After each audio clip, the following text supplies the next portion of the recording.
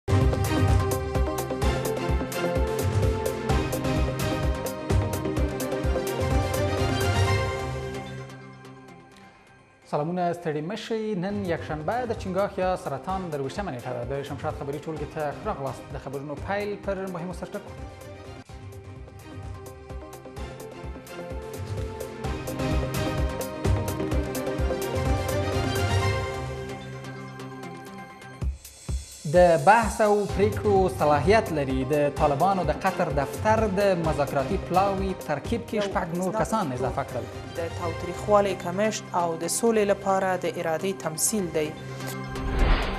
طالبان بندیانو ته سترګې په لار دي ارګ د تاوتریخوالي کمېدو او مصالحې شورا د زندانیانو د خوشې کېدو غوښتنه لري دواړه طرفونه خپل تعهداتو ته چې په دې اړه یې مخکې کړي وو هغه عملي شي او زندانیان خوشې شي تر په دولس ادارو یې ازمایي هند د کرونا وایرس ضد واکسین جوړ کړي چې تر اګست به یې ویش پیل کړي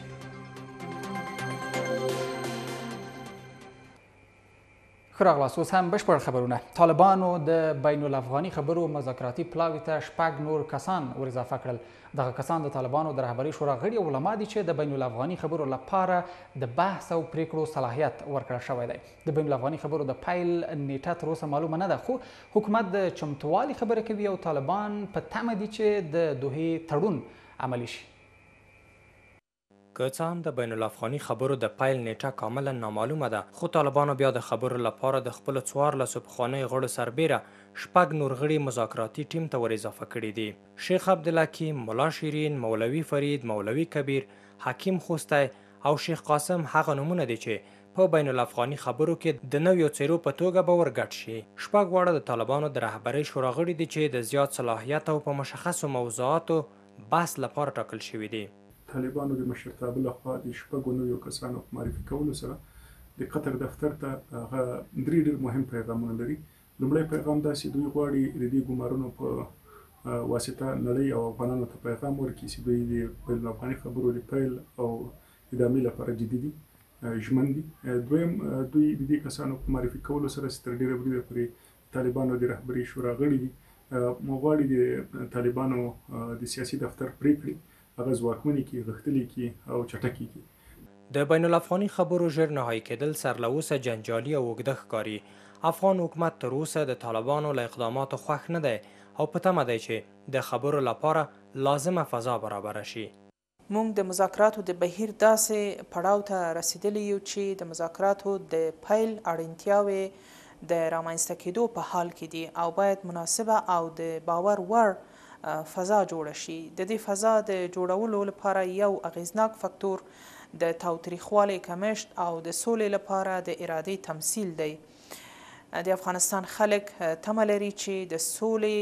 خوا ته د مخته تلو په حال کې باید د دېرې قربانیو مخه ونیسو.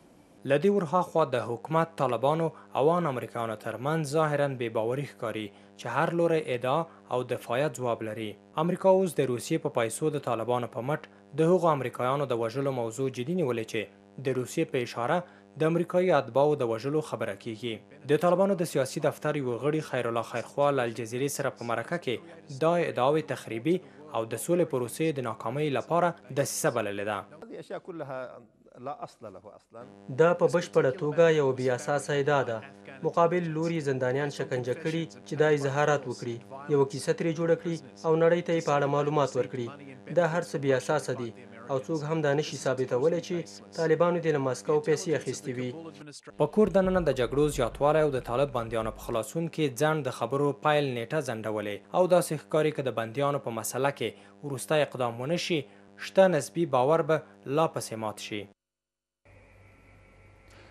د مصالحې عالی شورا وایي افغان حکومت او طالبان دې د بندیانو په برخه کې په خپلو ژمنو عمل وکړي. ارګ وایي اوس د دې وخت را رسېدلی چې طالبان تاوتریخوالی کم او سولې پروسې ته په واقعي توګه داخل شي. تحلیل کوونکو په وینا ولسمشر د بندیانو له خوشې کېدو او نه خوشې کېدو سیاسي ګټه پورته کوي او د سولې پروسې پر وړاندې خنډ جوړوي. حکومت بیا طالبان ملامت بولي چې نه غواړي د سولې مخامخ خبرې پیل شي او د دې لپاره پلمې لټوي. که په څو ورځو کې افغان حکومت د طالبانو پاتې بندیان ورخوشې کړي، په یوه اونۍ کې به خپل منځۍ خبرې پیل شي. د مصالحې عالي شورا له دواړو لورو غوښتي، چې د بندیانو په اړه خپلې ژمنې عملي کړي او نه باید د سولې پروسې په وړاندې خنډونه جوړ شي. دواړه طرفونه خپل تعهداتو ته چې په دې اړه یې مخکې کړي وو، هغه عملي شي او زندانیان خوشې شي ترڅو موږ بین الافغاني مذاکرات ته ورسیږو هیڅ لوري زموږ تمه ده چې کوشش ونکړي چې بین الافغاني مذاکرات پر وړاندې خنډونه ایجاد کړي یا دغه پروسه وزندي موږ تمه ده چې کله چې د بندیانو پروسه د خلاصون پروسه پای ته ورسیږي په یو ونې کې به ان شاء الله بین الافغاني مذاکرات شروع شي او دا به د افغانستان د خلکو لپاره ښه خبر وي طالبان په خپل دریځ ولاړ دي چې د بندیانو له خوشې کېدو پرته د سولې خبرې نه پیلېږي خو افغان حکومت ویلي چې د بندیانو پاتې برخه یې ګواښونکي دي او دغه ډله دې بل لیست ورکړي. د ارګ دریځ دا ده چې طالبانو تاوتریخوالی ډېر کړی او د جګړې شدت د افغان حکومت او متحدینو لپاره یې د سولې پر وړاندې ننګونه ده. د طالبانو له خوا د تاوتریخوالي ډېروالی، پر حکومتي مرکزونو او امنیتي قواوو د دوی پرلپسې بریدونه، د سړک د غاړې د بمونو چاودنه چې قربانیان یې ملکي وګړي دي، زموږ او د نړیوالې ټولنې د سولې هڅې زیانمنوي. اوس د دې وخت را رسېدلی دی چې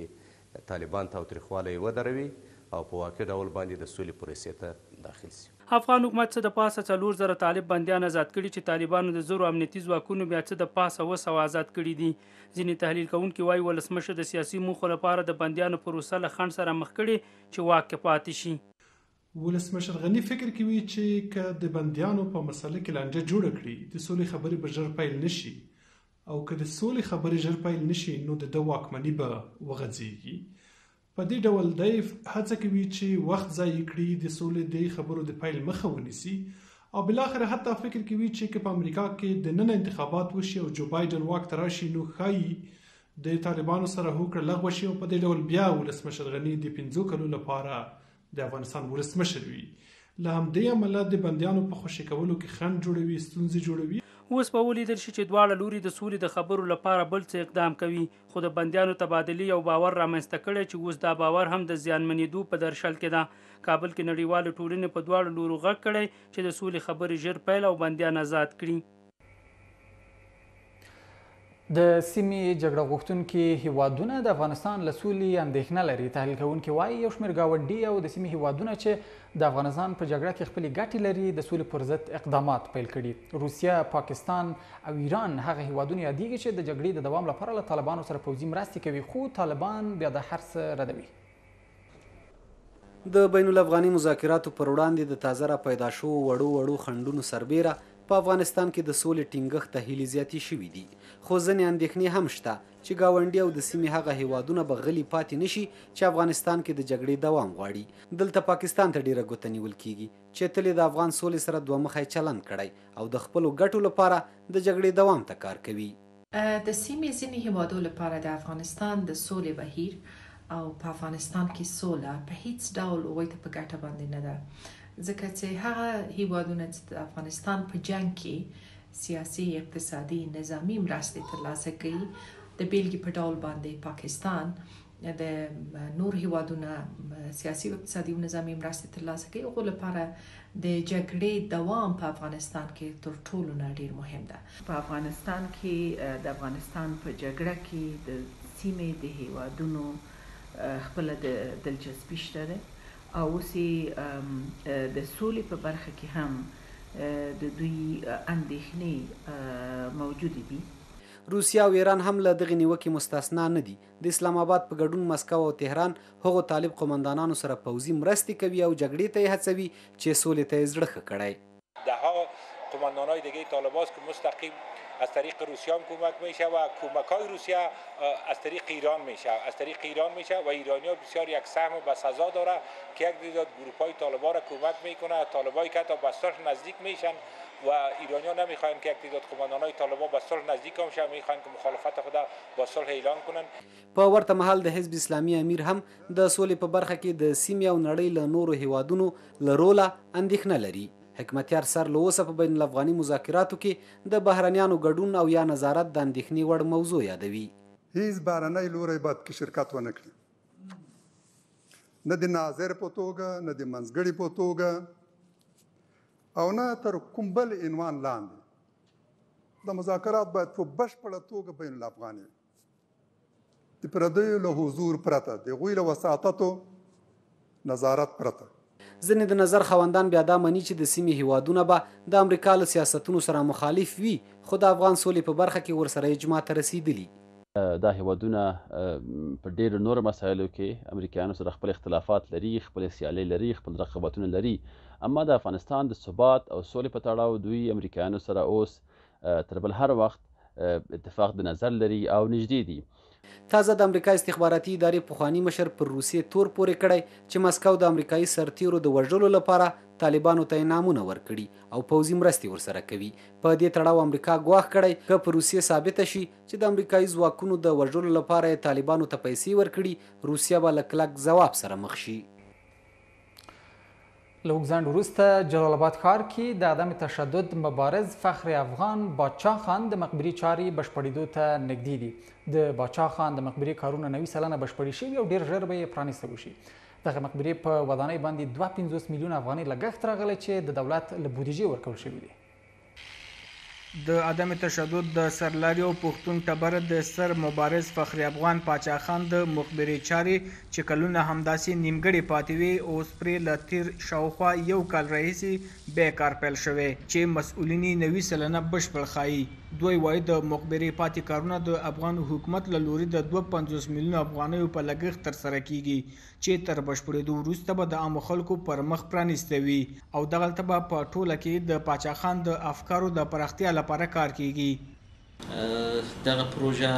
د کلونو نیمګړې پروژه وه، دا اوسنۍ پروژه نه ده، دا په دې باندې کلونه تېر شوي وو، له نېکه مرغه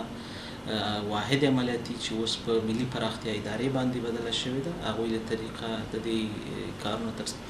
ترسره کېږي او که دغه ارقام اشتباه ونه کړم نو تقریباً د دوه پنځوس میلیونه شاوخوا کې افغانیو شاوخوا کې دغه پروژه به بشپړه شي. دا به مکمل ډول سره په د خلکو په مخ لاس وي، په دې ځي کې به د پاچا خان د فکر په اړه باندې زمونږ استادان لیکچرې ورکړي، خلاص به وي ورته. د اطلاعاتو او کلتور رئیس رحیم الله خوږیاڼی وایي، په دې ولایت کې د ډېرو نورو نوموتو څېرو مقبرې هم شته، چې جوړېدو ته یې اړتیا لیدل کېږي، خو زیاتوي چې د امکاناتو د کمښت له کبله یې وخت نیسي. ننګرهار د مشاهیرو زانګو ده، ننګرهار د علم، ادب او فرهنګ زانګو ده، دلته موږ داسې شخصیتونه لرو چې په هېواد کې سارې او بېلګې ډېرې کمې دي، لکه دلته زموږ وزیر محمد ګل خان پروت دی چې افغانستان یې تر نن ورځې پورې یو موټی ساتلی دی که خادم صیب وښیو دلته موږ داسې درانه شخصیتونه لرو چې هر یو یې د دې حقدار دی چې موږ یې مقبره ورغوو مقبره یې په سم ډول جوړه کړو. دغه مقبره چې اوږده کلونه یې کارونه نیمګړي پاتې وو اوس یې د چارو تر بشپړېدو وروسته ټاکل شوې چې په لوړه کچه نېږدې راتلونکي کې پرانیسته وشي. شکیل احمد سید، شمشاد راډیو ټلوېزیون، ننګرهار. د زده کړو بهیر د نه پیل له کبله حکومت باندې تور دی چې د بهرنیو مرستو د جلب لپاره د کرنتین په پلمه د زده کړو مرکزونه یې تړلي دي. د خصوصي پوهنتونونو، ښوونځیو او د ښوونیزو مرکزونو ټولنه وايي، د کرنتین موده کې لسګونه خصوصي ښوونځي او د زده کړو مرکزونه سقوط شوي او دې سکټور ته زیات زیان اوښتی دی. له حکومت غوښتنه دا ده چې تر دې وروسته د زده کړو مرکزونو د تړلو لپاره هېڅ پلمه نه ده پاتې او باید اجازه ورکړل شي. د خصوصي پوهنتونونو، ښوونځیو او ښوونیزو مرکزونو ټولنه اندېښنه لري چې د قرنطین مودې له غځېدو سره یو شمېر ښوونځیو او ښوونیزو مرکزونو خپل فعالیت د تل لپاره دراولی او حکومت د خپلو ګټو لپاره خصوصي سکتور ته زیان اړوي. یا می خواهند که به ای عنوان کمکها یا پولهای دانه را جذب کنند. و دیگه هیچ عنوان نمیتن دنیا امروز که کمک میکنه صرف برای تحصیل صحت و معارف کمک میکنه دروازه های خود بند کردن که این ما برتون قرنطینه وضع کردیم در افغانستان هم آل امار ویروس کرونا وجود داره در, در, در حالتی که ما شما امروز مشاهده میکنیم بسیار وقایات بسیار پایان آمده سطح ویروس از زیر 50 فیصد آمده اما بازم به خاطر که اینا کمک جذب کنند سر ما این شرایط وضع کرد به شکل کلی مسئله را مطرح نکنم ما به شکل نظر به سکتور ما میتونیم سر رای حل های برای بیرون رفت از اینمی معضله قرنطین در محیط های اکادمیک برسیم د خصوصي پوهنتونونو، ښوونځیو او ښوونیزو مرکزونو ټولنه وایي، په ټولګیو کې د حضوري زده کړو لپاره له کرونا ویروس څخه د خوندیتوب لپاره تدابیر نیولي او انلاین زده کړو ښه پایله نه ده ورکړې. تعطیل دروازههای تحصیلات در کشور به معنای تعطیلی آموزش بیش از چند میلیون دانش آموز و محصل در کشور به حساب میآید و طبیعی است که چنین برخوردی غیر مسئولانه با فرصتهای همه جانبه کشور خواهد بود ما از تمام مسئولین حکومت خواست ما بازگشایی تمام مراکز آموزشی اینستیتوت ها مکاتب و پانتونا هست دوره قرنطینه که اونا فیصله کرده بودن که بر تمام نهادهای تعلیمی و تجارتی وضع شده بود فعلا ختم شده. تېره ورځ د کرونا ویروس سره د مبارزې بېړنۍ کمېټې پرېکړه کړې چې له مخې به ښوونیز مرکزونه د راتلونکې زمري میاشتې تر پنځلسمې نېټې پورې تړلي وي او د دولتي ادارو کاري رژیم به د سهار اتو بجو څخه تر مازدیګر څلور بجو پورې وي.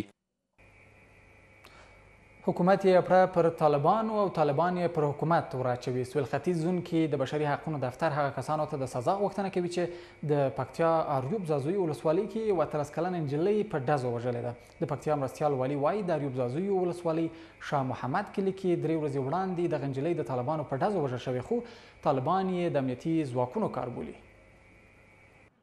درې ورځې وړاندې د پکتیا ریوب ځاځیو ولسوالۍ شاه محمد کلي کې یوه اتلس کلنه نجلۍ د طالبانو او امنیتي ځواکونو د جګړې پر مهال ووژل شوه. د پکتیا مرستیال والي عبدالولي سهي وايي چې نجلۍ د طالبانو له لورې هغه مهال ووژل شوه چې سیمې ته نور طالبان د جګړې لپاره د خپلو ملګرو مرستې ته ور روان وو. او دا وشي وسله وال دا دا وسله وال چې هلته راغلي وو او هغه د مخالفین د حکومت سره چې جګړه کې وو دا شاته شوي وو او څه تلفات هم ورکړي وو کنه دوی ته چا کومه کومکي قوه راغلې وه د هغوی په ډزو کې دغه جلۍ لګېدل طالبان ذبیح الله مجاهد وایي چې دغه اتلس کلنه نجلۍ د امنیتي ځواکونو په ډزو ویشتل شوې او حکومتي لوری یې باید ځواب ووایي. دغه خبره بالکل واقعیت نه لري جنګ سوی وو هلته په پوستو باندې بیرته د پوستو غربکیانو کلی تر وتلو په کلو باندې ډزې کړې په کلی کې یو جرګه کې هم زخمی کړي و شهادت خبره تر اوسه مخته نه درځي خو زخمی و سویل ختیځ زون کې د بشري حقونو دفتر د دغه نجلۍ کورنۍ ته انصاف غواړي او وایي چې دواړه لوري دې معلومه کړي چې دغه نجلۍ چا وژلې او وروسته دې وژونکو ته سزا ورکړي. ځايي خلک وايي، اورته مېشت خلک ویل شوي، د بشر حقونو خپلواک کمېسیون دا پېښه غندي او د دې د عاملینو د مجازاتو غوښتنه کوي، ولو که د هر لوري له خوا نه وي. دغه اتلس کلنه نجلۍ د پکتیا اریوب ځاځیو ولسوالۍ شاه محمد کلي کې د جګړې پر مهال لومړی ټپي او وروسته یې ګردېز ته پر لاره د ژورو ټپونو له کبله ساه ورکړه خو د وژنې مسولیت یې تر اوسه چا نه دی منلی. حکمت نیازی، شمشاد تلویزیون، پکتیا. ځینو ولایتونو کې د ناامنۍ له امله د کورونا ناروغانو د شمیر په تړاو سروې ځنډېدلې ده. د عامې روغتیا وزارت د معلوماتو پر اساس تر دې دمه په دریو زونونو کې د کورونا سروې شوې، خو یو شمیر ولایتونو کې یې ناامنۍ د فعالیت مخه نیولې. عامې روغتیا وزارت رسمي شمیرو له مخې تازه د کوویډ 19 ناروغۍ 15 اتیا مثبتې پیښې ثبت شوي او په ټوله کې د دې ناروغۍ څخه له زرو زیات کسان مړه شوي هم دي. عامې روغتیا وزارت لس ورځې وړاندې د هېواد په یو شمېر ولایتونو کې د کرونا د ګواښ په اړه سروې پیل کړې چې لا بشپړه شوې نه ده. دا سروې چې په څلور ویشتو ولایتونو کې پیل شوې د چټک یا ریپیډ ټیسټ له مخې کېږي چې تر راتلونکې اونۍ به بشپړه او پایلې به یې اعلان شي. مونږ ټول افغانستان په نهو زونو ویشلی ده چې له جملې څخه یې درې زونه چې کابل هم جلا زون کړی ده او مرکزي ولایتونه هم جلا زون او مشرقي جلا زون چې دا درې زونه پاینل شوي دي خلاص شوي دي ډیټا انټري هر څه پاینل شوي دي او نور ولایتو باندې هم کار روان ده په دریو زونونو کې شوې سروې ښیي چې په هر کور کې نږدې دوه کسان په کرونا اخته یا له دې ناروغۍ رغېدلي دي. عامې روغتیا وزارت وايي، یو شمېر سیمو کې ناامنۍ د فعالیت مخه نیولې. ارزګان، زابل، پکتیا، زرمت ولسوالۍ، دې ته ورته نورې ولسوالۍ ګانې ولایتونه دي چې د امنیت څه ستونزې دي، هغه ولایتونه چې باید مونږ په دوه ورځو کې کړي وای هغه ورځې وغځېدلې، نو ان شاءالله د دغې سروې لس ورځې تېرې شوې دي او لس ورځې پاتې دي، نو ان شاءالله په دې لس ورځو په جریان کې به زمونږ ټوله سروې پای ته ورسیږي او نتیجه به یې د ټول افغانستان سره شریکه کړي. څلرویشتو ساعتونو کې د کرونا پنځه اتیا مثبتې پېښې ثبت شوي چې شمېر یې د نورو ورځو په پرتله کموالی ښيي، خو د مړو شمېر یې له زرو واوښت. سره له دې چې د کرونا ګواښ مخ په کمېدو دی، خو عامې روغتیا وزارت لا هم اندېښمن ښکاري او وايي، که پاملرنه ونه شي، د امریکا په څېر به افغانان هم له سخت وضعیت سره مخ شي. بلخ کې د خصوصي ښوونځیو مسؤلین وایي حکومت باید ژر تر ژره تعلیمي او تحصیلي بنسټونو ته د فعالیت اجازه ورکړي دوی چې د بلخ ولایتي شورا په انګړ کې د تراس په ډول راټول شوي وو ویل یې چې له تیرو څو میاشتو راهیسې د خصوصي ښوونځیو سلګونه ښوونکي وزګار شوي او په خراب اقتصادي وضعیت کې دي دوی همداراز له حکومت د لاسنیوي غوښتنه کوله دلته د بلخ ولایتي شورا په انګړ کې د بلخ د خصوصي ښوونځیو یو شمېر مسؤلین د اعتراض په ډول راټول شوي او حکومت د تعلیمي او تحصیلي بنسټونو پر وړاندې پر بې تفاوتۍ تورنوي. دوی وايي چې د کرونا ویروس او قرنطین له امله یو شمېر ښوونځي له سقوط سره مخ شوي چې د حکومت له مرستې پرته یې بیا په پښو درول ناممکن دي. اگر توجه نشوه شخصا و خود مکتب دارستم دیگه نمیتونم مکتب خود فعال کنم ما دو هزار شاگرد دارم یک هزار شاگرد ما به صورت رایگان درس میخوانه بعضی از مکاتب به خاطر نداشتن کرای جای مکتب خود بسته کرده زمانی که مکتب خود بسته که صاحب تعمیر گفته که اگر پول پرداخت نمیتونی برای از اینجا برامده چاره نداشتم وقتی که او برآمد رفت همه چیز خود جمع کرد سرنوشت 5 600 شاگردی که داشته یا 1000 شاگردی که داشته چطور میشه مکاتب خصوصی با تجمعات کم و رعایت نکات بهداشتی و شروع دوباره به کار نمایند و بیشتر از این اطفال وطن ما از تعلیم و تربیت تور نه وانه. د بلخ د ولایتي شورا غړي هم له خصوصي سکټور سره د حکومت له خوا پر مرستو ټینګار کوي. له دې سره د بلخ د پوهنې ریاست وايي چې د خصوصي ښوونځیو د ستونزو د حل په تړاو یې مرکز ته راپور لېږلی دی. ای ګپ ساده و ګپ خرد نیست ای یک ضربه محکم به معارف افغانستان است یک مشت محکم به ای که دولت مردای ما تا حتی حد بی مسولیت و بی تجربه هستند در این موارد که نظام آموزش افغانستان را فعلا در حاشیه رانده ای مشکلات شان ما انعکاس دادیم در وزارت و ان شاء الله به زودترین فرصت هر اقدام و هر فیصله که صورت بگیره با شما شریک خواهیم کرد. د یادونې وړ ده چې د کرونا ویروس مخنیوي برخه کې د اضطرار کمېټې د نوې پرېکړې له مخې د هېواد ټول خصوصي او دولتي ښوونځي او پوهنتونونه د اسد یا زمري میاشتې تر پنځلسمې پورې رخصت دي. جاوېد واک، شمشاد راډیو تلویزیون، بلخ.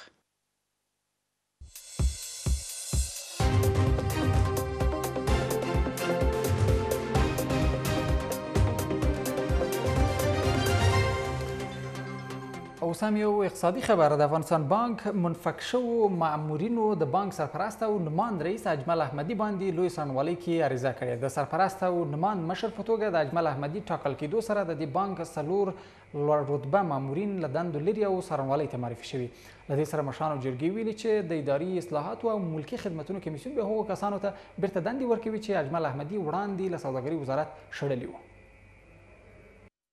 اجمل احمدي تر دې وړاندې د سوداګرۍ وزارت سرپرست و چې هغه مهال یو شمېر کارکوونکي له دندو شړلي وو، خو د مشرانو جرګې د شکایتونو اورېدو کمیسیون مشر زلمي زابلي په خپله فیسبوکپاڼه لیکلي چې د اداري اصلاحاتو کمېسیون په همکارۍ د سوداګرۍ وزارت شړل شوي مامورین په خپلو یا ورته نورو دندو ګماري. د احمدي له راتګ سره د افغانستان بانک لوړ رتبه مامورین هم له دندو منفک او لویې څارنوالۍ ته معرفي شول. د افغانستان بانک خپل مسوولیت ادا کړی و، دوسیې لویې څارنوالۍ ته استولې دي، تر څو چې د لویې څارنوالۍ پرېکړه نه وي، افغانستان بانک په دې تړاو بل نظر نه ورکوي. منفک شوي مامورین وايي، اجمل احمدي له قانون خلاف عمل کړی او په دې برخه کې د ټولو مسؤلو ادارو دروازې به وټکوي. موږ هماغه فیصله تطبیق کړې ده. بېرته اوس عالي شورا دا وايي چې تاسې په دې خاطر منفک یاست چې زموږ فیصله مو تطبیق کړې ده. په منفک شوو کسانو کې د افغانستان بانک دویم مرستیال قسیم رحیمي هم شته، خو د بانک لومړي مرستیال واحد نوشېر استعفا ورکړې چې ولسمشر منلي، منفک شوو کسانو لویې څارنوالۍ ته د مشرانو جرګې د شکایتونو کمېسیون له لارې شکایت کړی. دا توطیه او سیاسي توطیه کړې ده چې په پایله کې دوی غوښتي دي چې مونږ په سیستماتیک ډول د سیستم د بانګ نه لرې کړي او دوی کوم شخصي اغراض چې لري هغوی ته ورسیږي. او د ده د عمل په نتیجه کې داسې یو غټ مشکل بانک مرکزي ته جوړ شوی دی. او بانک مرکزي شهرت ته د بانک مرکزي چې کوم نوم ده دې ته زیان رسېدلی دی او مهم بخشونو رئیسان یا امیرین چې دي دا خو اداره کې د ادارې یو دارایي حسابیږي. ټولنیزو رسنیو کې هم په اجمل احمدي نیوکې کېږي چې ګوندې سلیقوي چلند کوي او پرته له دې چې د یو کارمند په تړاو معلومات پیدا کړي له هغه سره ناسم چلند کوي.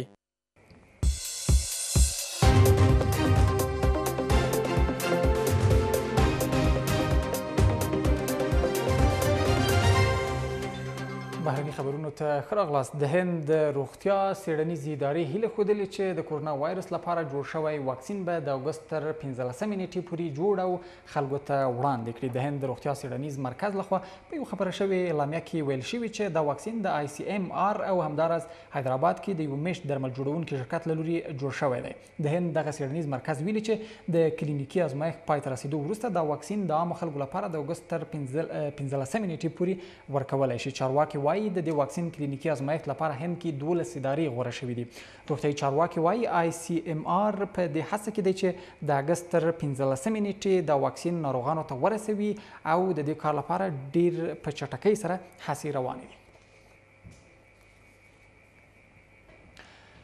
هند چې څو ورځې وړاندې د کوویډ نولس له امله د ځپلو شوو هیوادونو په نوملړ کې دریم ځای خپل کړ تازه یې په تیرو څلورویشتو ساعتونو کې له اوویشت زرو زیاتې پیښې ثبت کړي او دا شمیرې ورسره بلې زیاتیږي د هند روغتیايي ادارو معلومات ښیي چې یاد ویروس په دغه هیواد کې په یوه شپه ورځ کې نه سوه درې کسان مړ کړي هم دي هاخوا د جان هاپکینز پوهنتون وروستي معلومات ښيي چې نړۍ کې بیا د کوویډ نولس مثبتو پېښو شمېره دوولس میلیونه اته سوه او دوه څلوېښت زرو او یو سلو دوولس تنو ته رسېدلې. هاپکینز پوهنتون شمېرې ښيي چې یاد ویروس تر دې مهاله د نړۍ له دوه سوه په زیاتو هېوادونو کې له پنځه سوه او شپېته زره او شپږ سوه او درې پنځوس تنه مړه کړي هم دي. امریکا او برازیل بیا هم هغه هېوادونه دي چې تر دې دمه یاد ویروس زیات ځپلي دي. او ورسته خبر دا چې نیپالي چارواکي وایي دغه هیواد کې د سیلابونو او ځمکویدنې له امله څلوېښت کسان مړه شوي او ګڼ شمېر نور لا درکه دي نیپالي چارواکي وایي ځمکویدنه د زیاتو سیلابونو له امله رامنځته شوې ده نیپال د طبي پیښو پر وړاندې د چمتووالي اداره وایي د زیاتو سیلابونو له امله زرګونه کسان خپلو کورونو پرېښودو ته هم اړ شوي دي نیپالي چارواکو رسنیو ته د لا درکه شوو کسانو دقیقه شمېره نه ده ښودلې خو دومره یې ویلي چې ښځې او سړي هم پکې شامل دي ژغورونکې ډلې وایي هڅه کوي چې لادرکه شوي کسان وژغوري په دې اړه یې عملیات پیل کړي دي خبري ټولګه مو همدومره وه له پاملرنې مو مننه